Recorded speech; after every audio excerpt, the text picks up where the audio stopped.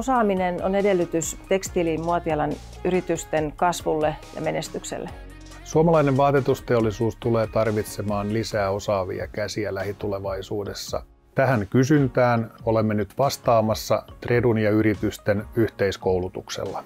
Tekstiili- ja muotialan koulutuksessa suunnitellaan, kaavoitetaan ja valmistetaan vaatteita. Mä valitsin tekstiili- ja muotialan, koska tämä on kasvava ala, meillä on monipuoliset työtehtävät ja pääsee työllistyä helposti. Tekstiili- ja muotialalla työskenteleminen on työskentelemistä kauniiden asioiden parissa. Mua tässä opiskelussa kaikista innostavinta on ollut se, kun pääsee näkemään oman kädenjäljen kehittymisen. Jos haluat päästä käyttämään sun luovuutta ja mielikuvitusta, niin kannattaa hakea rohkeasti, reteesti ja reilusti Treduun.